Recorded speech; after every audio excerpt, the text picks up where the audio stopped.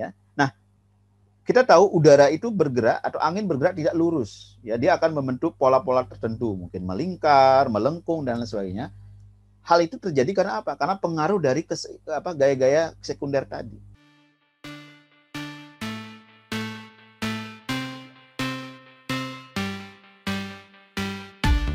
Hari ini kita akan lanjutkan uh, materi klimatologi dengan topik tekanan dan angin. Jadi hari ini akan ada dua topik yaitu tekanan dan angin.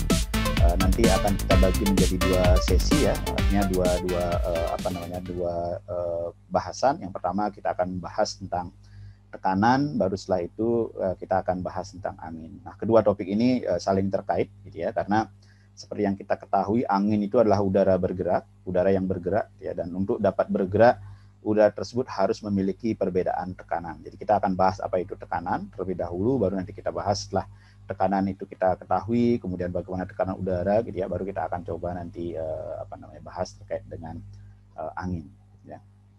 Nah, kita akan lihat untuk yang pertama yaitu di tekanan udara.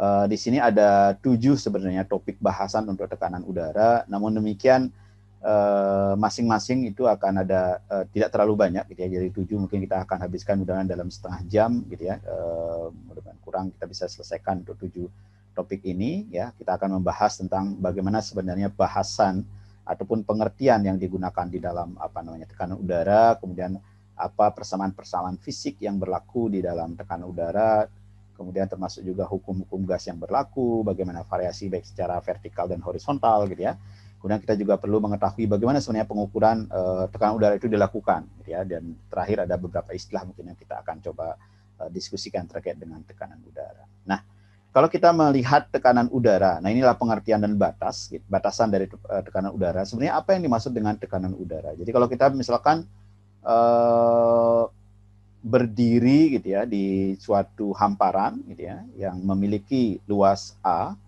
Nah, kemudian di hamparan tersebut kita melakukan pengukuran tekanan udara, gitu ya.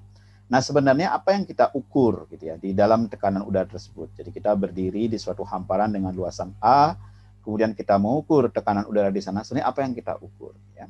Jadi secara definisi tekanan udara itu adalah gaya berat kolom udara dari permukaan bumi ya atau ketinggian tertentu sampai dengan puncak atmosfer. Jadi seperti gambaran tadi, kalau kita berdiri di suatu hamparan dengan luasan A, gitu ya. Sebenarnya yang kita ukur tekanan udara itu adalah gaya berat dari kolom udara di atas kita, ya di atas uh, hamparan tadi. Ya. Jadi uh, kita mengukur luasan ya dikalikan dengan apa namanya uh, gaya yang bekerja apa namanya di, di di kolom udara tersebut. Ya. Jadi kalau misalkan kita lihat dari apa namanya dari definisi tekanan itu P itu kan sama dengan eh, apa namanya gaya F dikalikan dengan A dikalikan dengan luasan. Jadi kalau kita berdiri di satu luasan tertentu, maka kita mengukur F, kita mengukur gaya. Nah gaya itu kan sama dengan massa dikalikan gravitasi. Jadi kita berbicara tentang berapa massa udara di kolom udara tersebut dikalikan dengan gravitasi baru dikalikan dengan luasan. Nah itu kira-kira yang kita ukur ya. Jadi uh, mungkin uh, apa sangat mudah dipahami bahwa uh, tekanan udara adalah mengukur berapa gaya yang bekerja per satu satuan luas. Nah, sehingga dengan demikian sangat mudah dipahami kenapa udara memiliki tekanan yang menurun dengan ketinggian. Ya, kenapa?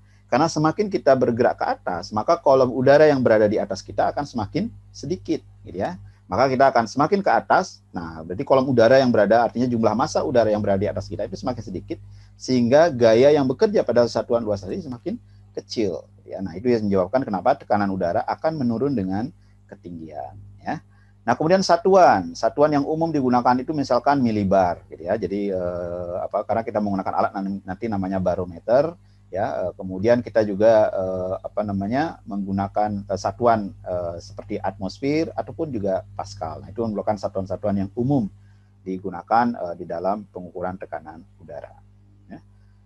Nah, kemudian eh, yang kedua, persamaan fisik apa saja yang terkait dengan tekanan udara? Nah, ini eh, persamaan-persamaan karena kita tahu bahwa udara itu merupakan suatu fluida, ya, maka persamaan-persamaan itu akan sangat terkait dengan bagaimana karakteristik fluida.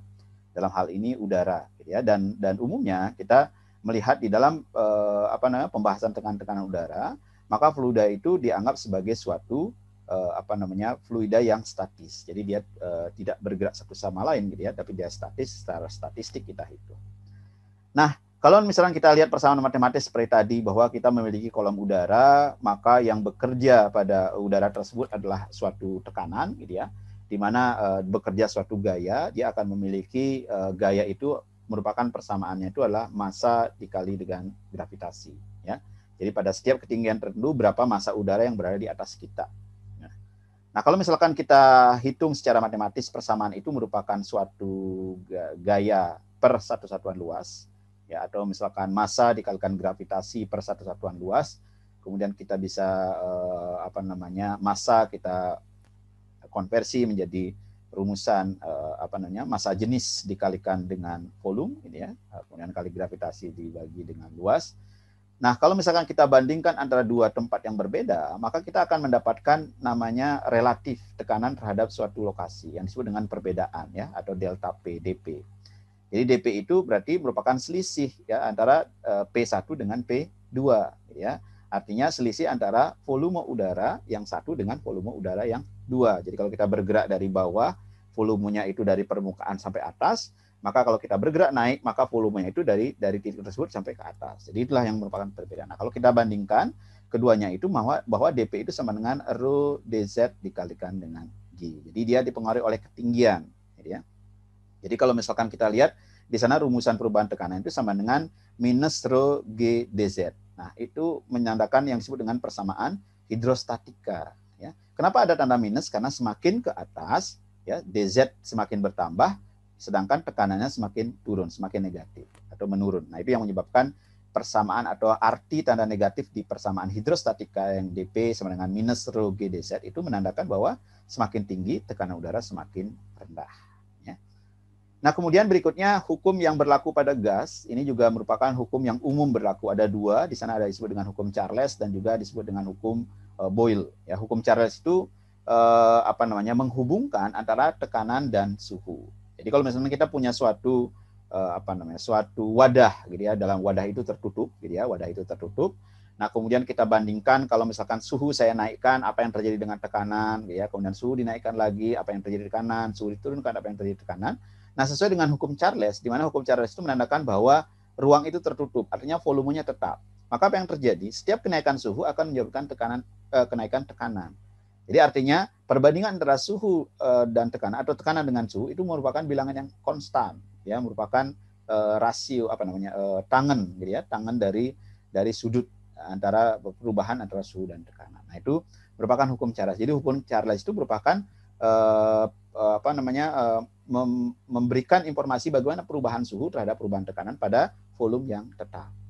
Nah, bagaimana kalau dengan hukum Boyle? Kalau misalkan hukum Charles pada volume tetap, hukum Boyle itu pada suhu yang tetap.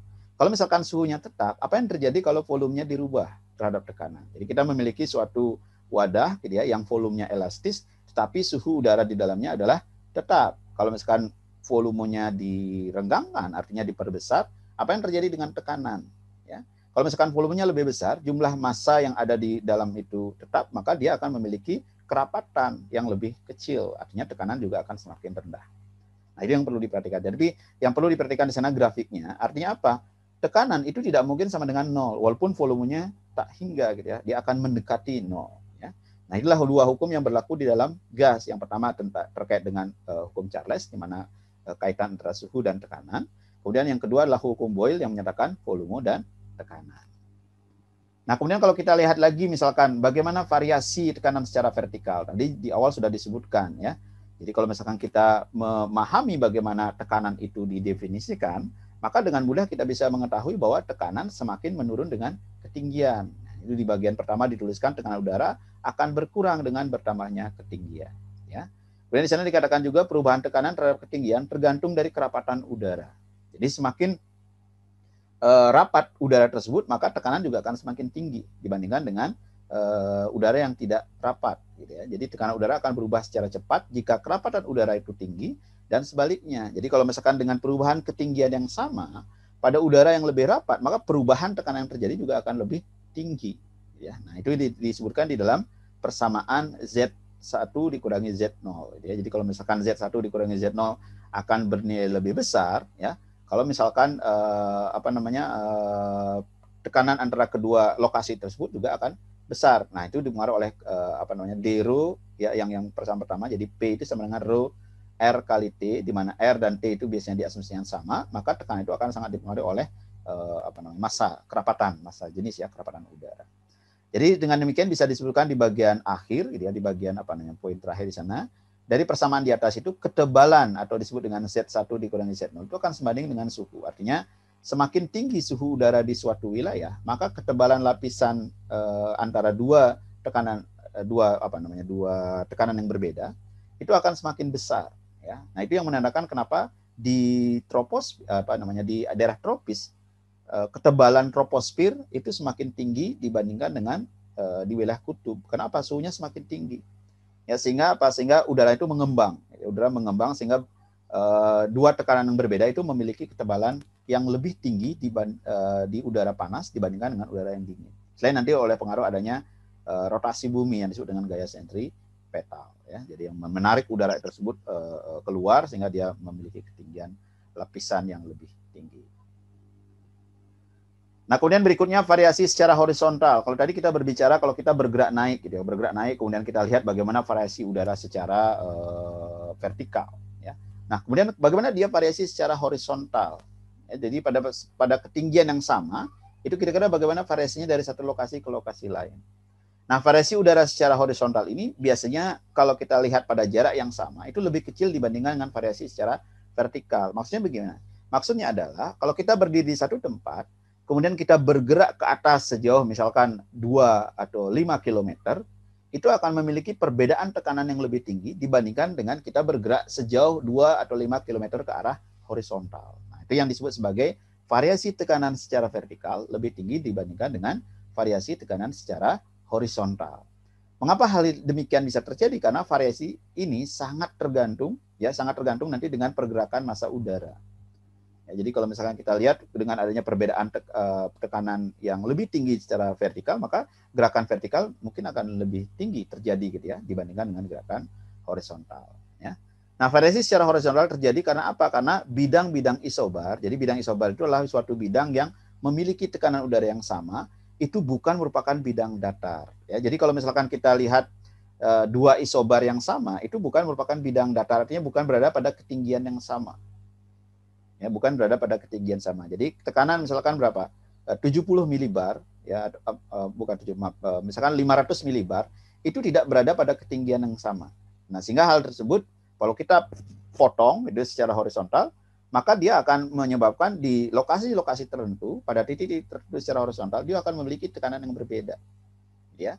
Jadi kalau Anda ingat kembali misalkan ada ITCZ ya uh, di mana dia merupakan intertropical convergence zone, zona tropis uh, apa uh, konvergensi yang memiliki tekanan yang sangat eh, rendah ya karena dia suhunya sangat tinggi. Nah, di sekitarnya itu memiliki tekanan yang lebih tinggi ya secara horizontal gitu ya. Sehingga yang terjadi apa? Terjadi perpindahan massa udara ke sana. Ya, di gambar sebelah eh, apa namanya? kanan itu disebutkan yang atas itu bagaimana L itu adalah merupakan low. Low itu artinya eh, tekanan rendah ya pusat-pusat tekanan rendah, kemudian high. High itu adalah high H itu adalah pusat tekanan tinggi, maka itulah terjadi secara horizontal. Jadi ada pergerakan massa udara dari pusat tekanan tinggi ke pusat tekanan rendah. Ya, itu yang terjadi. Nah, itu di, di, digambarkan juga di uh, gambar bagian bawah, gitu ya. Dia uh, ada pusat tekanan. Jadi garis-garis tersebut adalah menyatakan garis yang disebut dengan isobar, yang garis yang menghubungkan titik-titik yang memiliki keten, uh, apa namanya uh, tekanan udara yang sama. Ya. Nah, itu kira-kira uh, uh, apa namanya variasi tekanan secara horizontal yang perlu dipahami bahwa besar variasi tekanan udara secara horizontal lebih kecil daripada variasi secara vertikal. Nah, ini uh, sebagai contoh misalkan kita lihat di bulan Januari ya, kalau misalkan kita perhatikan di bulan Januari kalau Anda ingat kembali uh, bagaimana apa namanya uh, posisi matahari pada bulan Januari yaitu di selatan ekuator ya, di belahan bumi selatan, maka belahan bumi selatan akan memiliki atau mendapatkan radiasi yang lebih tinggi. Nah, apa yang terjadi? Maka belahan bumi selatan akan lebih hangat ya. Uh, jadi sehingga uh, menyebabkan uh, apa di di sisi yang lain belahan bumi utara akan menjadi lebih dingin. Nah, kalau kita perhatikan uh, seperti gambar di sini ya, DJZ itu akan bergeser ke selatan ekuator ya karena matahari berada di selatan ekuator, maka selatan ekuator itu akan memiliki radiasi yang lebih tinggi dan tekanan udara akan semakin rendah. Ya. Nah itu menyebabkan terjadi pergeseran udara, ke, apa pergeseran IDCZ ke selatan, pusat-pusat tekanan akan terbentuk di sana. Gitu ya. Jadi ada kalau anda perhatikan di sana, kebanyakan pusat-pusat tekanan tinggi itu ada sebagian besar itu ada berada di di uh, lintang antara uh, sampai dengan 40 ya 40 uh, derajat di lintang selatan gitu ya. Kemudian lintang pusat tekanan rendah itu ada di atas 60 ya. Nah, seperti yang beberapa waktu lalu kita bahas terkait dengan sirkulasi udara global gitu ya. Maka akan terjadi pergerakan udara dari wilayah uh, apa namanya uh, ekuator ke wilayah subtropis, kemudian dari subtropis nanti ke wilayah kutub dan seterusnya. Nah, itu akan sangat terkait dengan tekanan udara yang terjadi secara horizontal. Ya, jadi sepanjang lintang yang lebih dari 60 terjadi uh, pusat tekanan rendah. Nah, ini akan uh, akan sangat berhubungan dengan nanti kita lihat angin, ada disebut dengan angin front, gitu ya. Kemudian uh, tekanan tinggi itu akan terbentuk di sebelah barat benua. Nanti uh, ada disebut dengan uh, apa namanya lintang kuda gitu ya. Lintang kuda itu di mana uh, udara tersebut karena dia uh, udara tersebut semua mengumpul di situ ya karena dia apa maaf uh, karena dia merupakan tekanan tinggi dia semua terdispersi ya semua menyebar gitu ya. Nah, sehingga di situ kalau misalnya kita masuk ke lintang kuda nanti ada beberapa yang disebut dengan lintang kuda di situ udara pada saat dia ter, terdispersi ada beberapa lokasi-lokasi tertentu yang justru di pusat tekanan uh, tadi dia memiliki kondisi yang sangat-sangat tenang gitu ya. Jadi karena udara itu ditarik keluar maka terjadi kekosongan di sana maka udara tidak bisa bergerak di situ. Nah, itu yang disebut dengan lintang kuda gitu ya. Jadi ada beberapa nanti uh, uh, apa namanya disebut dengan kondisi-kondisi tertentu gitu ya. Ada disebut dengan front gitu ya, ada disebut dengan uh, apa namanya lintang kuda, ITCZ dan sebagainya itu merupakan pusat-pusat tekanan yang terjadi di sepanjang wilayah tertentu ya. Nah, ini nanti akan juga berkaitan dengan tropical antisiklon dan sebagainya nanti kita lihat di bagian angin. Nah, kemudian uh, pada uh, apa namanya periode yang berbeda, misalkan pada bulan Juli, kita tahu pada bulan Juli udara apa uh, matahari berada di utara ekuator, gitu ya. Maka yang terjadi adalah hal sebaliknya. Jadi ITCZ itu akan bergerak ke utara, menyebabkan sebagian wilayah juga di utara ekuator memiliki tekanan yang tinggi. Jadi kalau Anda perhatikan di lautan itu biasanya umumnya memiliki pusat tekanan tinggi dibandingkan dengan daratan. Sehingga akan ada pergerakan udara dari laut ke daratan. Nah, ini terjadi pada pada siang hari ya, akan terjadi pergerakan seperti itu yang akan membawa masa udara ke daratan gitu ya uh, nah termurnya angin laut dan sebagainya. Nah kemudian uh, apa namanya di benua di belahan bumi selatan itu lebih dingin ya dibandingkan benua di belahan bumi utara. Karena belahan bumi utara menerima radiasi lebih tinggi ya karena matahari eh, gerak semua matahari pada bulan Juli dia berada di utara ekuator ya.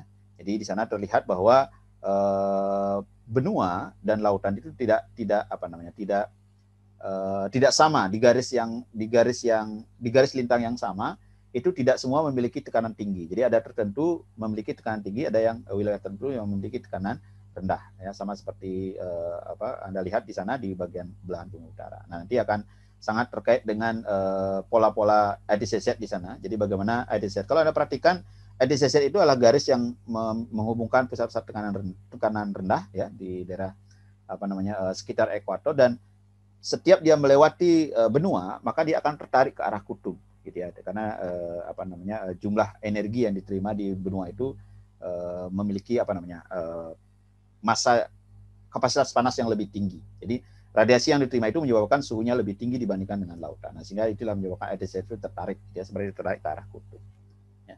nah kemudian kita kalau misalnya kita lihat pola-pola tadi nah tentu kita ingin mengetahui bagaimana sebenarnya cara mengukur tekanan udara jadi kita sudah lihat misalkan pola-pola tekanan itu memberikan gambaran kepada Anda bagaimana pola tekanan secara horizontal, bagaimana pola tekanan secara vertikal. Nah, kalau kita ingin mengetahui sebenarnya bagaimana cara mengukur tekanan udara. Nah, ini ada beberapa pendekatan yang bisa digunakan untuk mengukur tekanan udara, ya. Nah, alat itu umumnya dinamakan uh, barometer. Jadi alat untuk mengukur tekanan udara itu namanya barometer, bar ya, barometer. Kemudian beberapa uh, jenis barometer di sana uh, disebutkan ada tujuh contoh, ya. Yang pertama misalkan ada disebut dengan barometer air raksa, ini yang umum uh, digunakan disebut uh, barometer air raksa. Jadi air raksa itu dimasukkan ke dalam satu tabung gitu ya, tabung gelas uh, ukur, kemudian uh, dibalikkan. Nah, kemudian nanti akan uh, tinggi dari uh, air raksa itu akan mengukur berapa tekanan udara di bawahnya. Ya, karena dia akan menahan ya, menahan uh, air raksa itu agar tidak jatuh ke bawah. Nah, tinggi itu yang disebut dengan tekanan udara yang diidentikan dengan tekanan udara. Nah, itu diukur dari permukaan apa namanya pantai itu ya yang disebut dengan satu atmosfer itu. Nah ternyata ketinggiannya pada saat diukur itu sebesar 76 cm. Makanya disebut dengan satu ATM, satu atmosfer itu sama dengan 76 cm Hg. Ya, itu ya kira-kira ya. Jadi ada beberapa uh, apa namanya barometer ya. Jadi barometer yang secara manual ya, ada barometer juga dengan menggunakan air, ada juga misalkan Android ya, Android harusnya ya. Kemudian ada barograf ya, ada digital dan lain sebagainya. Jadi uh, apa namanya banyak jenis uh, barometer yang yang yang berkembang baik secara manual maupun secara digital. Nah, prinsip kerjanya sama, jadi dia menghitung uh, berapa tekanan udara sebenarnya yang terukur dengan indikator-indikator yang digunakan, gitu ya. Nah, kalau misalkan yang barometer barograf itu dia ada tekanan udara seperti pompa, ya. Jadi apa? Bukan pompa, balon, gitu ya, balon. Jadi kalau misalkan tekanan udaranya tinggi, maka balon itu akan mengempis, gitu ya, mengempis karena tekanan udara di, di luarnya tinggi, maka balon itu akan me, me, mengecil. Nah, dengan mengecilnya balon itu dia akan menggerakkan uh, pena, ya sehingga dia mencatat berapa tegangan udara saat itu. Nah ini yang bagian akhir yang tadi disebutkan uh, ada tujuh topik. Nah ini adalah bagian akhir terkait dengan istilah-istilah yang umum digunakan di dalam tekanan udara. Jadi ada beberapa istilah yang mungkin anda bisa pahami. Uh, pertama ada disebut dengan isobar. Nah, apa yang disebut dengan isobar? Iso itu sama, gitu ya. Bar itu berarti tekanan. Artinya apa? Kalau isobar itu adalah garis yang menghubungkan lokasi-lokasi atau titik-titik yang memiliki tekanan yang sama, ya. Pada saat suhu kita berbicara tentang isoterm, ya. Iso itu sama, term, term gitu ya. Itulah suhu, eh, temperatur gitu ya. Maka isoterm itulah lokasi-lokasi yang memiliki suhu yang sama. Nah, kalau isobar itulah lokasi-lokasi yang memiliki tekanan yang sama. Kemudian apa yang disebut dengan gradien tekanan, DP. DP itu gradien tekanan itu artinya perubahan tekanan. Jadi DP itu kan sama dengan P1 dikurangi P0. Jadi perubahan tekanan antara satu lokasi dengan lokasi yang lain ya. Jadi eh, gradien tekanan itu perubahan uh, tekanan uh, secara horizontal dari satu lokasi ke lokasi yang lain. Kemudian ada disebut dengan daerah-daerah palung. Nah, ini sebagai contoh di gambar sebelah kiri disebutkan palung. Palung itu berarti wilayah tersebut itu memiliki tekanan yang rendah dibandingkan dengan wilayah-wilayah sekitarnya, tapi bentuknya memanjang, gitu ya. Jadi kalau misalkan uh, gambarkan secara visual itu bentuknya cekungan. Jadi ada pusat rendah, ya kemudian di sekitarnya adalah pusat tekanan tinggi, ya. Anda bisa gambarkan seperti uh, apa namanya cekungan gitu ya, tapi memanjang. Nah itu disebut dengan palu. Hal sebaliknya disebut dengan punggung. Nah kalau punggung itu adalah tekanan tinggi yang memanjang, jadi daerah pola tekanan tinggi yang memanjang dan sekitarnya adalah merupakan pusat apa uh, tekanan rendah. Ya. Jadi nanti itu akan sangat terkait dengan misalkan terbentuknya front dan sebagainya. Jadi kalau pusat-pusat tekanan itu bentuknya memanjang itu kalau udara bergerak maka dia akan uh, apa ter, terhalang oleh pusat tekanan tadi, maka akan terbentuk misalkan front dan sebagainya. Nah, kemudian eh, itu kira-kira bahasan tentang eh, tekanan udara. Nah, jadi kalau misalkan kita melihat eh, tekanan udara tadi akan eh, nanti mungkin diskusinya kita akan gabungkan kalau misalkan ada pertanyaan di bagian akhir. Nah, kalau kita melihat tekanan udara ini eh, apa yang terjadi setelah misalkan eh, udara memiliki tekanan yang berbeda dari satu lokasi dengan lokasi yang lain. Nah, kalau kita telusuri dari awal, pada saat radiasi memberikan radiasi ke permukaan, ya kemudian permukaan memberikan respon, karena 50% dari radiasi yang sampai permukaan yang disebut dengan radiasi itu, itu akan digunakan untuk beberapa proses, misalkan untuk uh, sensible heat, panas terasa, H, ya kemudian digunakan untuk latent heat evapotranspiration, ya LE, uh, kemudian ada LI, ya LI, dan kemudian digunakan juga untuk uh, memanaskan permukaan disebut dengan ground, ya, dan sebagian kecil digunakan untuk melakukan uh, proses uh, apa namanya fotosintesis, ya. Nah, jadi dengan demikian itu akan akan terdapat beberapa uh, yang digunakan untuk memanaskan atmosfer. Nah, sehingga menyebabkan atmosfer itu memiliki suhu yang berbeda-beda. Ya, pada saat suhu tinggi maka tekanan akan rendah seperti yang dihukum uh, apa kalau misalkan udara terbuka, kalau suhu tinggi maka udara tersebut mengembang. Ya, sehingga tekanan akan menjadi rendah. Nah, kalau misalkan beberapa lokasi memiliki tekanan yang berbeda, apa yang terjadi dengan udara tersebut? Ya, sama seperti kita memiliki uh, dua ketinggian yang berbeda. Apa yang terjadi dengan air? Air akan mengalir dari pusat pusat apa namanya dari lokasi yang tinggi ke, tekan, ke lokasi yang lebih rendah. Nah sama dengan udara, udara juga akan bergerak dari tekanan tinggi ke tekanan yang rendah. Nah ini akan kita bahas dalam angin. Jadi angin itu adalah udara yang bergerak. Nah ini kita akan bahas beberapa topik di sana. Ada yang disebut dengan sama uh, seperti tadi di tekanan kita akan bahas juga tentang uh, apa namanya pengertian batasan-batasan dari angin itu seperti apa, hukum-hukum yang bekerja di angin itu hukum geraknya seperti apa. Nanti ada dua gaya yang bekerja pada angin dua kelompok gaya. Yang pertama disebut dengan gaya utama dan kemudian disebut dengan gaya sekunder. Nanti kita lihat apa yang disebut dengan gaya utama dan apa yang disebut dengan gaya sekunder. Nah, kemudian setelah ada gaya-gaya tadi, tentu dia tidak akan terus bergerak karena kalau misalkan sesuai dengan hukum uh, Newton nantinya kalau misalkan ada gaya ada ada uh, selisih gaya yang bekerja maka dia benda benda tersebut akan mengalami yang namanya percepatan. Nah, pada saat ben, uh, semua gaya bekerja secara seimbang, nah apa yang terjadi? Ya nanti akan kita lihat di bagian 5 bagaimana kalau gaya-gaya yang bekerja pada angin itu bekerja secara seimbang. Gitu ya. Jadi kalau misalkan ada gaya gradien tadi, kemudian ada gaya yang lain yang bekerja secara seimbang, nah apa yang terjadi? Ya, baru kita lihat secara global nanti bagaimana sistem angin dunia dan terakhir seperti tadi kita akan lihat alat ukur yang digunakan untuk uh, angin tersebut. Nah, kalau kita lihat yang pertama, apa yang disebut dengan angin? Jadi secara definisi sederhana, angin itu adalah udara yang bergerak. Jadi pada saat udara tersebut belum bergerak, maka belum ada angin.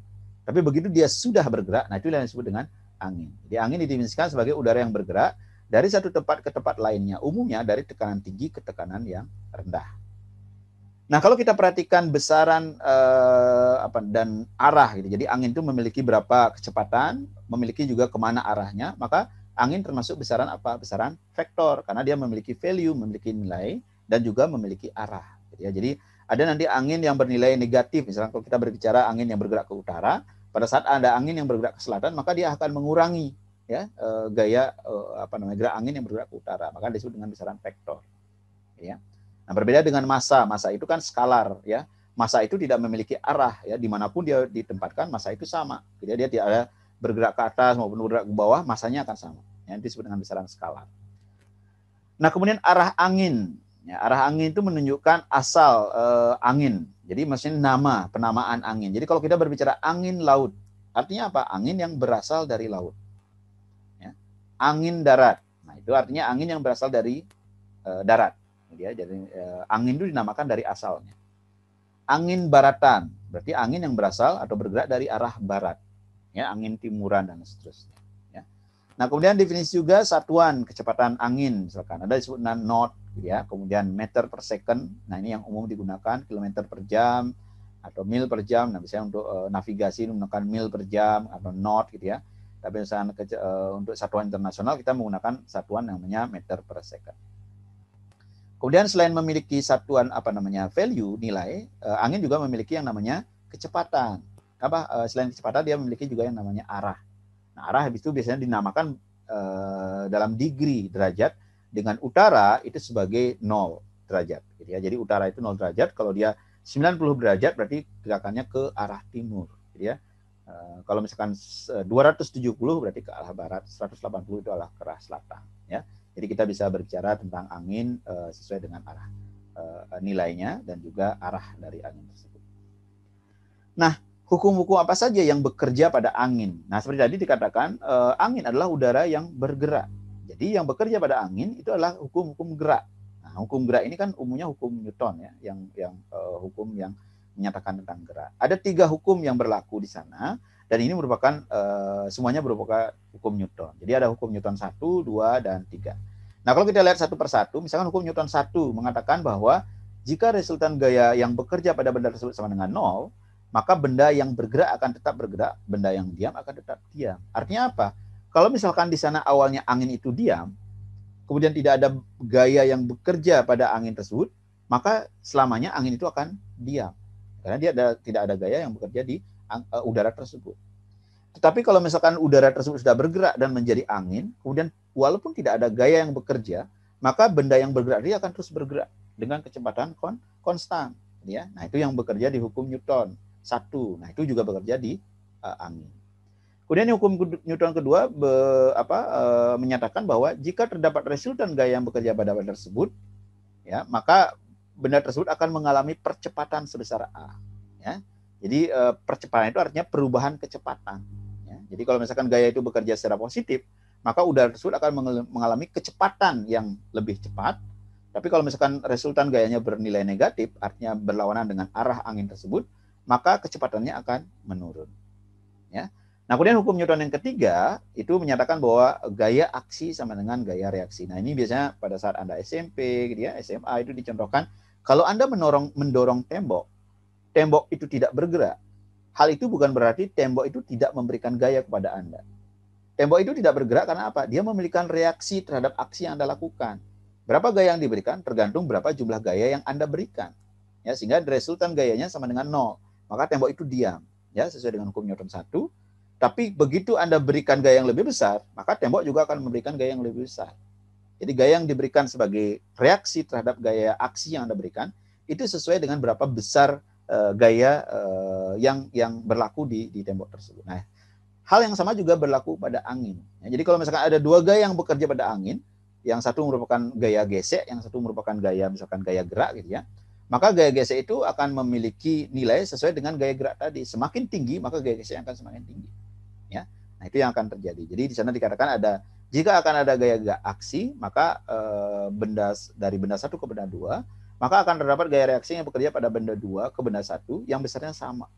Nah, ini disebut dengan hukum Newton tiga. Nah, kita lihat sekarang e, kalau misalkan hukum-hukum ini berlaku, e, apa yang terjadi. Jadi dengan adanya gaya-gaya tadi, hukum-hukum tadi yang bekerja, maka akan ada uh, uh, apa namanya uh, resultan gaya yang bekerja pada angin. Nah, seperti tadi disampaikan, ada dua kelompok gaya yang bekerja pada angin disebut dengan gaya primer dan gaya sekunder. Nah, kalau kita lihat satu persatu, apa yang disebut dengan gaya primer?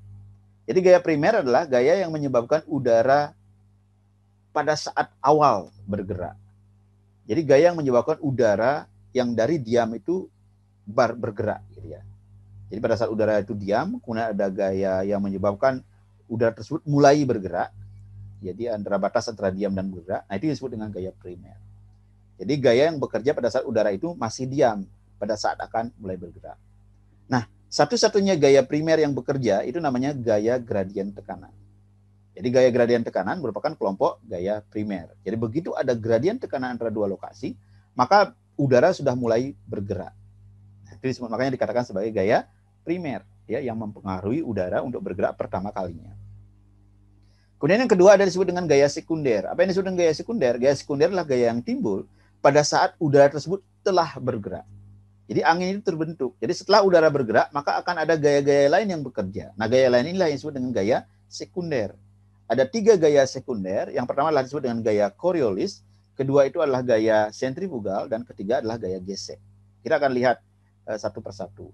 Ya. Nah, kita tahu udara itu bergerak atau angin bergerak tidak lurus. Ya, dia akan membentuk pola-pola tertentu, mungkin melingkar, melengkung dan lain sebagainya. Hal itu terjadi karena apa? Karena pengaruh dari gaya-gaya sekunder tadi. Jadi begitu udara bergerak untuk pertama kali disebabkan oleh gerai gradien tekanan, pada saat udara itu sudah bergerak, maka dipengaruhi oleh gaya-gaya sekunder dan menyebabkan perubahan arah dari arah angin tadi. Awalnya angin itu bergerak dari tekanan tinggi ke tekanan rendah ya secara lurus gitu ya. Tapi begitu ada gaya sekunder yang bekerja, maka angin itu berbelok gitu ya. Akibat ada gaya Coriolis, akibat ada gaya sentrifugal, akibat ada gaya gesek, menyebabkan udara tersebut bergerak dengan arah yang berbeda, tidak lagi lurus. Nah, kalau kita lihat satu persatu, misalkan eh, di bagian gradien tekanan yang merupakan eh, bagian dari apa namanya gaya utama, gitu ya, eh, sebagai gaya primer, jadi gaya primer itu di sini didefinisikan lagi gaya primer menyebabkan terjadinya aliran udara secara horizontal akibat adanya gaya gradien tekanan. Ya, jadi kalau misalkan uh, pada gambar sebelah kanan dijelaskan di bagian atas itu ada high pressure ya, kemudian di, di, di uh, sebelahnya ada low pressure. Maka akan terjadi pergerakan dari tekanan udara tinggi ke tekanan udara rendah. Ya. Yang uh, gradien tekanan itu terjadi akibat adanya perbedaan antara dua uh, dua tekanan yang berbeda yang bisa didefinisikan secara persamaan gaya gradien tekanan itu adalah minus 1 per rho dp per dz. Jadi tekanan dibandingkan dengan jarak tadi ya eh, atau ketinggian yang berbeda. Yang dipengaruhi oleh eh, apa namanya rho ya masa jenis dari udara tersebut. Apa arti tanda negatif? Tanda negatif karena udara bergerak dari tekanan tinggi ke tekanan yang rendah. Nah, sehingga dengan demikian kalau kita lihat dari rumusan tersebut, semakin tinggi gaya gradien ya, jadi dp per dz dp per dz semakin tinggi, maka gaya gradien akan semakin tinggi. Ya, artinya apa? Artinya udara akan bergerak lebih cepat dibandingkan dengan gaya gradien yang lebih rendah. Ya. Di sana juga disebutkan tanda negatif menunjukkan gaya bekerja dari gaya eh, apa namanya tekanan tinggi ke tekanan rendah. Nah itu kira-kira ya gaya gradien tekanan. Nah kemudian berikutnya eh, bagian yang disebut dengan gaya sekunder. Gaya sekunder itu tadi ada tiga, gaya Coriolis, centrifugal, dan gaya eh, gesek. Nah, kalau kita lihat yang pertama disebut dengan gaya Coriolis. Apa yang merupakan apa yang disebut atau definisikan sebagai, sebagai gaya Coriolis? Jadi secara definisi, gaya Coriolis itu terjadi karena adanya apa? Adanya rotasi bumi. Jadi begitu udara itu bergerak, kemudian bumi itu berputar kan. Nah, pada saat berputar itulah gaya yang bekerja pada udara bergerak tadi. Nah, dia disebut dengan gaya Coriolis. Rumus gaya Coriolis itu seperti dituliskan di sana, Fc sama dengan minus 2 omega uh, V kecepatan ya, sin theta. Ya. Jadi uh, minus 2 omega V sin theta. Nah, kalau kita lihat satu persatu, omega itu merupakan kecepatan apa namanya eh, rotasi bumi gitu ya. Kemudian uh, theta itu merupakan sudut atau apa lokasi lintang gitu ya. Uh, kemudian V itu adalah kecepatan. Nah, kalau Anda perhatikan di sana, theta itu merupakan lokasi lintang. Artinya nilainya bisa dari 0 sampai dengan 90. Apa terjadi kalau misalkan nilainya 0? Sin 0 sama dengan 0. Artinya apa? Gaya Coriolis sama dengan 0. Artinya di wilayah ekuator tidak bekerja gaya Coriolis. Jadi FC itu sama dengan 0 karena lintang sama dengan 0. Sin 0 sama dengan 0. Ya. Jadi di daerah ekuator FC sama dengan 0. Di daerah kutub FC sama dengan maksimum. Sin 90 sama dengan 1 maka di daerah kutub FC sama dengan minus 2 theta kali V. Ya, sedangkan di antara misalkan kalau 60 derajat berarti sin 60 dan seterusnya. Ya, nah itu yang yang perlu dipahami. Gaya Coriolis bekerja karena adanya rotasi bumi. Di wilayah ekuator gaya Coriolis sama dengan 0, di wilayah kutub gaya Coriolis sama dengan maksimum. Ya. Nah, kemudian yang kedua ada disebut dengan gaya sentrifugal. Jadi kalau sentrifugal itu uh, secara apa namanya analogi kalau misalkan Anda memegang uh, tali di mana di ujung tali itu ada ada apa namanya ada batu ya kemudian ada batu itu ada putar maka Anda melihat bahwa akan uh, batu itu akan berada pada lintasan yang tetap yang disebut dengan orbit yang tetap. Mengapa hal itu terjadi? Karena ada seperti hukum Newton yang ketiga ya maka akan ada aksi dan reaksi yang menyebabkan benda yang tadi akan Eh, memiliki dua gaya yang resultannya sama dengan nol. Ya, pada saat akan ada gaya sentripetal yang menarik tali apa menarik bola itu ke dalam sebagai kita sebagai center misalkan, maka di satu sisi akan ada gaya yang bekerja keluar. Nah, itu dengan gaya sentrifugal yang besarnya sama. Nah, sehingga menyebabkan batu tersebut berada pada lintasan. Jadi gaya sentrifugal ini adalah gaya tarik ke arah luar pada jalur yang melengkung. Jadi maka udara bisa bergerak melengkung itu karena ada gaya tarik keluar tadi. Jadi gaya sentrifugal ini merupakan salah satu uh, penyebab terjadinya sirkulasi pada daerah tekanan tinggi dan tekanan rendah. Jadi mengapa pada saat kita melihat kenapa bisa terjadi puting beliung gitu ya. Pada saat udara kenapa udara itu bisa bergerak melingkar gitu ya. Karena pada saat dia bekerja uh, udara itu bergerak secara secara apa namanya curve gitu ya, melengkung, akan ada dua gaya yang bekerja. Yang satu gaya yang keluar yang disebut dengan sentrifugal, yang satu adalah gaya yang bekerja kepada pusatnya yang disebut dengan sentripetal. Dan kedua gaya tersebut memiliki uh, nilai yang sama sehingga putaran itu akan tetap radiusnya ya maka kita bisa melihat ya angin puting beliung itu gerakan uh, memutar gitu ya atau tornado dan sebagainya itu karena ada dua gaya bekerja nah kemudian gaya sentrifugal diperhitungkan dalam menghitung beberapa kecepatan angin misalkan uh, jika kita memiliki misalkan isobar-isobar yang melengkung gitu isobar seperti tadi kan lokasi-lokasi yang Eh, menghubungkan titik-titik yang memiliki tekanan yang sama. Nah, kalau tekanan itu tidak merupakan garis lurus, tapi merupakan garis lengkung, nah kira-kira berapa kecepatan angin yang terjadi di sana? Nah, itu bisa digunakan untuk mengestimasi itu. Ya. Nah, kemudian eh, yang gaya yang ketiga, gaya sekunder ketiga yang bekerja itu disebut dengan gaya gesek. Jadi gaya gesek itu terjadi karena apa? Karena adanya kekasapan permukaan. Ya, dan biasanya gaya gesek itu melawan dari eh, arah gerak tersebut. Jadi kalau kita angin itu bergerak ke kiri, maka gaya gesek itu bekerja ke kanan. Kalau udara tersebut bergeraknya ke kanan, maka gaya gesek bekerjanya ke kiri. Ya, jadi ya eh, itu yang menyebabkan eh, apa namanya halangan ya menyebabkan kalau kita perhatikan kecepatan angin dari permukaan dengan pada ketinggian tertentu akan semakin cepat. Kenapa? Pengaruh gaya geseknya semakin rendah. Di permukaan dengan kekasapan ada bangunan, ya ada vegetasi dan lain sebagainya, itu menyebabkan udara tersebut mengalami halangan-halangan, mengalami gesekan. Sehingga dia kecepatannya akan lebih rendah dibandingkan dengan udara-udara di uh, atmosfer bebas yang tidak atau lepas dari halangan-halangan permukaan. Nah, gaya gesek itu bergerak melawan arah gerak angin, semakin tinggi gaya gesek akan semakin kecil dan gaya gesek itu uh, sudah mulai mendekati nol itu pada ketinggian lebih dari 600 meter di atas permukaan laut ya. Uh, apa namanya uh, sehingga di sana tidak ada gaya gesek sudah bekerja nol sehingga kecepatan angin semakin ke atas itu sudah mulai konstan ya. Nah, kalau misalkan kita hubungkan dengan tadi tiga gaya tadi, jadi pada saat uh, udara itu sudah bergerak, maka gaya tersebut tidak bisa bekerja sendiri-sendiri. Maka gaya tersebut akan bekerja secara bersamaan, ya. Uh, mungkin akan ada yang maksimum, ada yang minimum dan sebagainya, gitu ya. Uh, jadi kalau kita lihat uh, pengaruh dari gaya sekunder itu dengan cara menjumlahkan dari masing-masing uh, apa namanya gaya tersebut. Jadi secara umum kecepatan angin itu ya perubahan kecepatan terhadap waktu akan dipengaruhi oleh gaya eh, apa namanya tadi gaya eh, apa tadi yang pertama Coriolis ya ditambah kemudian gaya sentrifugal dan juga gaya gesek. Ya, jadi ada tiga tiga gaya eh, mungkin harusnya maaf, ya, pertama adalah gaya gradien tekanan tentu kemudian gaya Coriolis kemudian gaya gaya gesek gitu ya, ya kemudian gaya dan gaya sentrifugal. Harusnya ada satu tambahan lagi ya jadi empat gaya karena ada gaya primer dan gaya sekunder.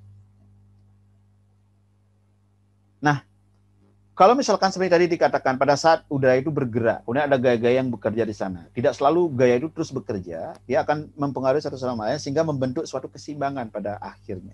Ya. Nah, keseimbangan gaya ini akan mempengaruhi bagaimana angin itu bergerak.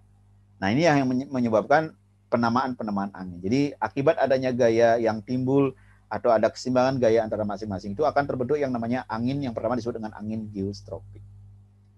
Apa yang dimaksud dengan gaya angin geostropik? Jadi angin geostropik itu angin yang bergerak pada isobar. Jadi kalau misalkan isobar bentuknya lurus, maka angin itu mengikuti isobar itu. Ya, jadi eh, apa eh, bergeraknya mengikuti isobar.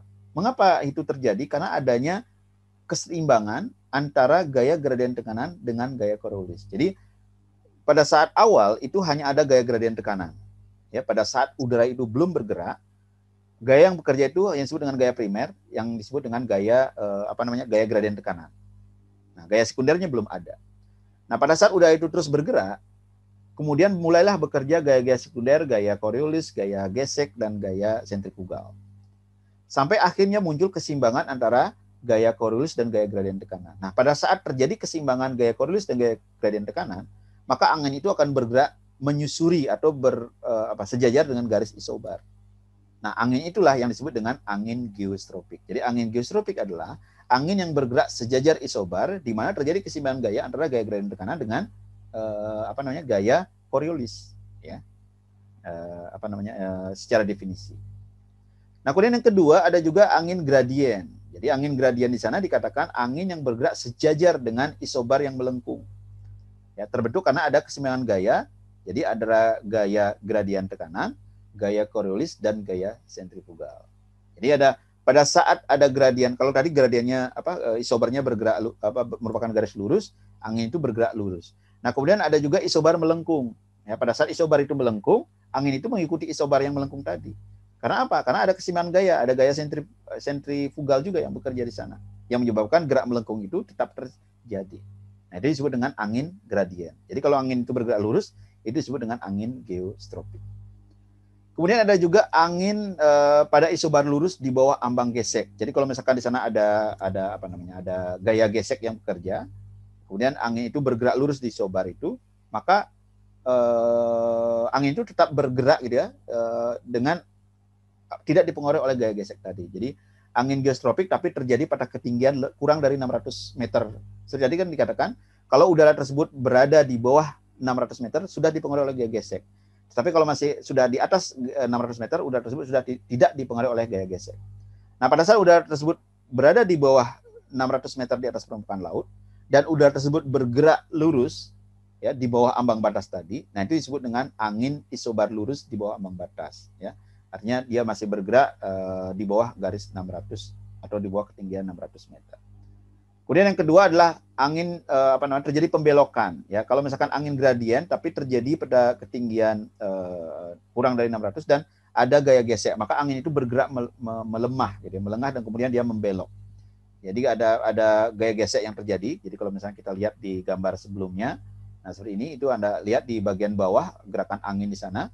Nah, itu yang disebut dengan uh, di bawah ambang batas dan dipengaruhi oleh gaya gesek. Jadi Anda perhatikan di sana gerakan angin akan melengkung gitu ya, mengikuti bagaimana uh, gaya gesek yang terjadi di permukaan. Jadi kalau misalkan ada rumah, maka angin tersebut bergerak, kemudian dia membentur rumah, kemudian dia akan mulai bergerak sesuai dengan uh, apa pola-pola permukaan itu.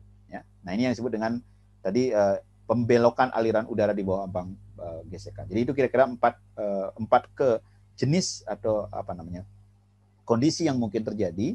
Yang pertama disebut dengan angin geostropik, kemudian angin gradien, Kemudian yang ketiga disebut dengan uh, apa namanya aliran angin isobar lurus di bawah ambang gesekan. Kemudian disebut juga pembelokan aliran udara di bawah ambang gesekan. Ya. Nah, kemudian berikutnya uh, variasi uh, angin secara horizontal. Ini gambar menunjukkan kalau Anda perhatikan di sana uh, warna itu menunjukkan tekanan ya, tekanan udara yang berbeda gitu ya. Kemudian di sana uh, tanda panah itu menunjukkan arah, angin. Nah, yang perlu diperhatikan di sini Anda lihat kecepatan angin itu berbeda secara horizontal. Jadi di lautan itu umumnya angin akan lebih tinggi atau kecepatannya dibandingkan dengan daratan. Kenapa hal itu terjadi? Karena di lautan tidak mengalami gesekan dibandingkan dengan di daratan itu akan ada pengaruh-pengaruh dari permukaan ada land use ya ada mungkin uh, bangunan dan lain sebagainya nah ini akan mempengaruhi kecepatan. Jadi secara ver, uh, secara horizontal angin itu akan memiliki variasi tergantung dari bagaimana kekasapan permukaan. Nah kemudian ini juga uh, contoh ya the, apa namanya variasi secara vertikal jadi kalau misalkan secara horizontal itu semakin banyak pengaruh halangan permukaan maka kecepatan angin semakin rendah. Tapi kalau kita bergerak ke atas, semakin tinggi kecepatan angin semakin cepat karena pengaruh permukaan juga di, e, diperhitungkan di sana gaya gesek permukaan, ya. Jadi semakin tinggi tadi e, di atas 600 meter di atas permukaan laut itu kecepatan angin sudah mulai konstan. Tapi di bawah 600 meter ya sudah e, dia akan masih dipengaruhi oleh pengaruh dari gaya gesek permukaan, maka kecepatan angin akan meningkat dengan ketinggian. Jadi dari rendah di permukaan terus meningkat sampai dengan ketinggian 600 meter di atas permukaan laut Nah, setelah ketinggiannya di atas 600 meter, maka kecepatan angin sudah mulai konstan. Ya. Jadi sana dikatakan tekanan pada permukaan seragam meskipun suhu udara rata-rata pada sebelah kiri lebih rendah dibandingkan dengan sebelah kanan. Nah, ini menyatakan uh, variasi tekanan di sana ada dua lokasi yang yang sebelah kiri memiliki uh, suhu yang lebih tinggi dibandingkan dengan lebih rendah. Artinya tekanan udara akan terjadi seperti apa? Nah, kalau su, uh, suhu udara tinggi maka tekanannya akan rendah. Ya, suhu udara rendah tekanannya akan tinggi ya sebenarnya udara itu bergerak dari mana namanya dari kiri dari kanan ke kiri ya. ya gaya gayanya itu kan berlawanan gitu ya tapi udara akan bergerak dari kanan ke kiri. Nah dengan bertambahnya ketinggian ya tekanan tidak lagi seragam ya perbedaan tekanan terjadi. Nah sehingga itu menyebabkan eh, apa namanya udara itu karena tekanan tidak tidak lagi seragam maka udara yang memiliki tekanan yang lebih tinggi atau uh, gradien tekanan atau PGF pressure gradient force yang lebih tinggi yang bagian atas itu akan memiliki kecepatan angin yang lebih tinggi. Nah, ini yang menunjukkan mengapa udara yang di permukaan juga itu akan uh, memiliki kecepatan yang lebih rendah dibandingkan dengan yang di bagian atas. Nah, kemudian bagian berikutnya sistem angin dunia. Nah, ini kita sudah bahas di beberapa pertemuan sebelumnya, gitu ya. Eh, sistem angin dunia itu dapat dilihat dari tiga skala, tergantung dari apa namanya luasan cakupan wilayah. Skala makro itu adalah sistem angin dunia yang cakupannya cukup luas, ya seperti misalkan siklus Hadley, gitu ya. Eh, kemudian nanti ada uh, apa di di antara uh, 30 sampai dengan 60 derajat, Ferrel dan lain sebagainya. Nah, itulah sistem makro. Kemudian ada juga skala meso, ini akan uh, gerak massa udara atau angin yang bertahan dalam beberapa hari saja, gitu ya. Dalam suatu waktu tertentu dan hanya meliputi wilayah-wilayah yang kecil. Nah, ini angin lokal misalkan angin laut, angin darat gitu ya, angin uh, apa namanya angin uh, lembah ya, kemudian angin gunung dan sebagainya dalam skala. Nah, itu disebut atau masuk dalam kategori meso. Tapi ada juga disebut uh, skala mikro. Nah, skala mikro itu biasanya angin di bawah tajuk gitu ya, angin dalam iklim-iklim mikro gitu ya, angin yang bertahan hanya beberapa menit saja. Misalkan terjadi uh, gejolak ya atau di, dibahasakan di sana olakan ya, uh, uh, apa namanya gerak edi gitu ya kemudian ada juga hembusan gitu ya atau juga uh, putaran debu. Jadi kalau misalkan Anda mungkin waktu dulu pernah uh, melihat di lapangan misalnya lapangan bola kemudian kita lihat tiba-tiba ada putaran-putaran atau pusaran-pusaran angin kecil gitu ya yang bergerak yang menerbangkan uh, apa namanya uh, daun-daunan uh, kemudian dia bergerak. Nah, itu disebut dengan dust devil. Jadi itu merupakan suatu pusaran debu ya akibat pola-pola uh, angin yang terjadi dalam skala mikro ya. Jadi uh, sangat tergantung. Nah, kalau misalkan skala skala makro kita tidak merasakan secara secara fisik bagaimana. Karena itu bergerak secara makro gitu ya. Dia bergerak dalam masa udara yang cukup besar. Nah kalau meso mungkin kita bisa rasakan termasuk juga mikro ya. Tapi yang yang kita lihat sistem angin dunia itu dipengaruhi oleh eh, apa di, disebabkan atau kita bisa lihat tergantung dari cakupan wilayah yang yang melingkupinya ya. nah ini kira-kira pola angin umum dunia ya. Eh, misalkan ada di sana siklus Hadley ya. Siklus Hadley dikatakan di sana yang bergerak dari ekuator ke arah subtropis, tapi asumsi yang digunakan itu adalah pertama bumi tidak berotasi, ya. Kemudian permukaan bumi merata dan terdiri dari komposisi yang seragam, kemudian letak bumi tidak miring terhadap sumber. Jadi ada beberapa asumsi-asumsi yang digunakan. Nah masalahnya semua asumsi tersebut tidak sesuai dengan kondisi di lapangan. Artinya apa? Siklus Hadley itu mengalami itulah teoritis. Jadi siklus teoritis yang menggambarkan bagaimana udara itu bergerak dari tropis ke arah e, subtropis, tetapi gerakannya tidak seperti teori tersebut, tidak tidak lurus gitu ya. Dia akan mengalami gerakan-gerakan e, apa namanya e, pembelokan-pembelokan sesuai dengan gaya-gaya yang bekerja pada angin tersebut. Ya. Nah, kemudian uh, ada juga pola angin yang ditimbulkan akibat angin dunia itu akan muncul yang namanya jet stream ya. Jet stream itu di antara apa namanya uh, uh, wilayah subtropical atau di wilayah kutub. Jadi antara batas misalkan 60 uh, berapa nah, 23 ya, 23 derajat gitu ya. Atau di di wilayah non kutub di di wilayah 60 derajat lintang utara, lintang selatan itu disebut dengan uh, polar jet stream ya Nah, di sini kecepatannya sangat tinggi ya, kecepatannya itu sekitar 300 km per jam. Jadi dia karena dia merupakan pusat tekanan ya eh, di gerak di apa di wilayah lintang itu, maka itu adalah gerakan eh, apa eh, udaranya begitu cepat di sana ya. Kemudian ada juga angin pasat. Ya, angin pasat itu antar antar benua gitu ya, eh, pasat barat dan eh, apa eh, pas eh, timur gitu ya, timuran angin baratan dan sebagainya ada juga angin kutub gitu ya, ada juga nanti front ya. Front ini juga dipengaruhi oleh tadi eh, pengaruh dari, dari gerakan eh, tekanan udara yang yang terjadi atau perbedaan tekanan udara antara subtropis dengan tropis eh, dengan apa namanya kutub ya. Akan muncul jet front ya. Tadi jet stream jet stream itu di di di daerah eh, sub eh, ekuator dan subtropis ya. Kalau misalkan eh, front ini adalah subtropis dengan kutub ya. Nah, kemudian ada juga wilayah-wilayah uh, yang memisahkan daerah angin ya disebut dengan doldrum ya misalkan uh, doldrum ini di, di wilayah ADCZ ya uh, Intertropical Convergence Zone itu adalah doldrum di mana uh, uh, merupakan pusat tekanan rendah ya kemudian ada juga lintang kuda. Nah, tadi ada wilayah-wilayah disebut dengan lintang kuda tadi. Jadi kalau misalkan di wilayah lintang kuda ini gerakan anginnya sangat rendah di sana ya. Membatasi angin uh, yang di pola subtropis dengan daerah tropis ya. Ya di jadi uh, ja, apa lokasinya itu sekitar 30 derajat di lintang utara dan 30 derajat di lintang selatan. Atau juga di front. Front itu uh, mendekati batas antara uh, subtropis dengan uh, subtropis dengan kutub ya di wilayah 60 derajat.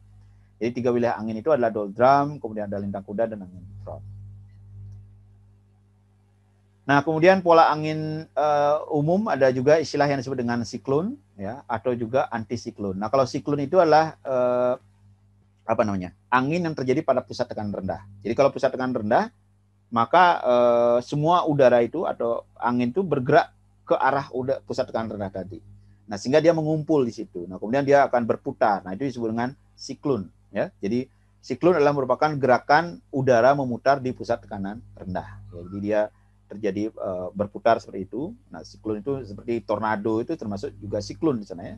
Tetapi dalam skala yang kecil. Tapi kalau misalkan skala yang lebih besar, Nah, itu yang disebut dengan siklon. Ya. Nah, kemudian kalau misalkan pada pusat tekanan tinggi itu sebenarnya antisiklon. Jadi dia akan uh, pusat tekanan tinggi, kemudian udaranya bergerak keluar. Ya, nah itu disebut dengan antisiklon. Nanti kita lihat uh, uh, kenapa dia bergerak ke searah jarum jam, kenapa dia bergerak berlawanan dengan jarum jam itu sangat dipengaruhi oleh adanya gaya-gaya tadi kayak Coriolis gitu ya, karena ada perputaran dari rotasi bumi dan sebagainya.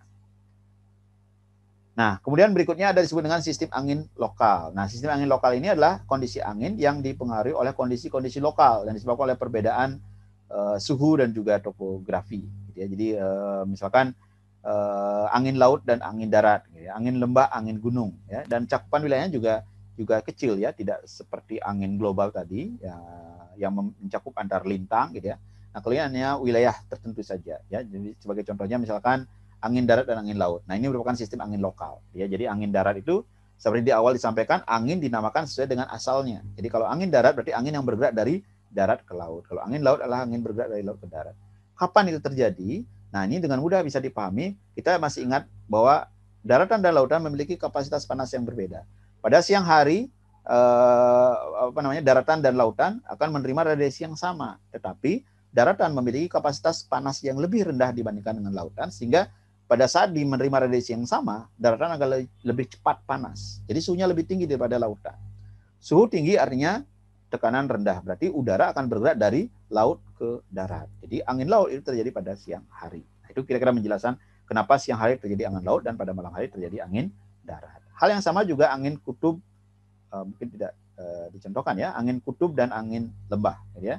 Jadi angin maaf, angin gunung dan angin lembah. Jadi pada saat uh, uh, siang hari uh, akan akan apa namanya akan terjadi hal yang sama gitu ya. Uh, udara akan bergerak dari dari dari gunung ke lembah ya pada malam hari dari lembah ke gunung. Nah itu karena perbedaan uh, tekanan atau perbedaan radiasi yang diterima.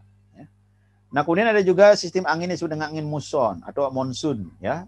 Misalkan ada uh, cirinya itu adalah perubahan arah akibat adanya perubahan musim. Jadi kalau misalkan angin laut dan angin darat itu terjadi pada siang dan malam, nah angin muson, muson atau angin monsun ini terjadi pada musim yang berbeda. Jadi dia ber, ber, berubah arahnya itu karena musiman.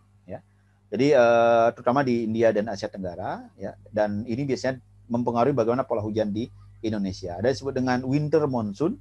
Jadi pada saat dia uh, apa namanya uh, terjadi uh, musim dingin di belahan bumi utara, gitu ya. Uh, kemudian kalau misalkan summer monsoon musim panas di belahan bumi utara. Jadi pada saat bulan April ya April uh, Mei Juni Juli sampai dengan September di mana uh, apa namanya matahari berada di utara ekuator ya uh, radiasi lebih tinggi di sana tekanan udara lebih rendah udara bergerak ke arah uh, utara ya dari dari dari ekuator ke arah uh, bulan utara Nah, itu disebut dengan summer monsoon ya. Tapi kalau winter itu terjadi pada bulan-bulan sebaliknya ya, misalnya pada bulan dari September sampai dengan bulan Maret. Nah, kemudian berikutnya juga ada disebut dengan angin gunung dan nanti ini angin gunung dan angin lembah. Jadi kalau angin gunung itu angin yang bergerak dari gunung ke lembah, kalau angin lembah angin yang bergerak dari lembah ke gunung gitu ya. Dan jadi kalau misalkan angin lembah itu terjadi pada siang hari karena Eh, gunung menerima radiasi lebih tinggi sehingga tekanan lebih rendah, udara bergerak dari lembah ke gunung. Pada malam hari eh, lembah menjadi lebih apa namanya eh, tekanannya lebih rendah ya dibandingkan gunung sehingga udara bergerak sini. Jadi hampir sama prosesnya dengan angin darat dan angin laut. Nah ini termasuk kategori angin lokal. Nah kemudian ada juga eh, angin apa angin terjun. Nah ini yang disebut dengan angin phone gitu ya. Eh, di beberapa lokasi misalkan angin cinok ya atau angin bohorok ya angin gening angin kumbang.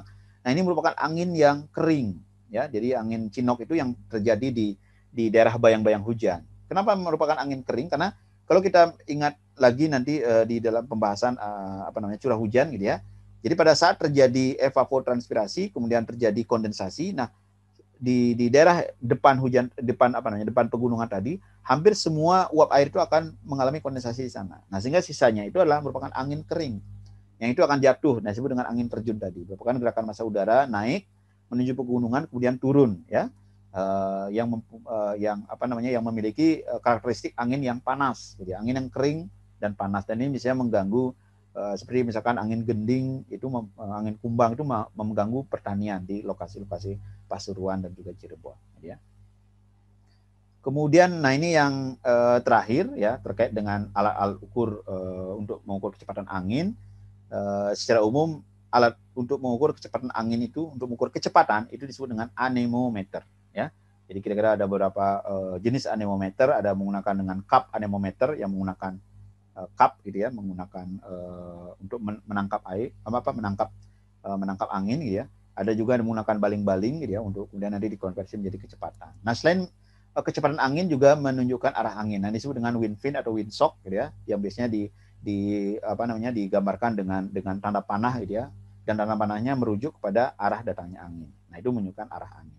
Nah, mungkin cara kerja kalau misalkan yang cup anemometer putaran dibagi dengan waktu. Jadi putaran itu kan berarti keliling ya, keliling yang di, di apa namanya ditangkap oleh gerakan angin tersebut kemudian per satu satuan waktu, nah sehingga kita bisa konversi menjadi kecepatan.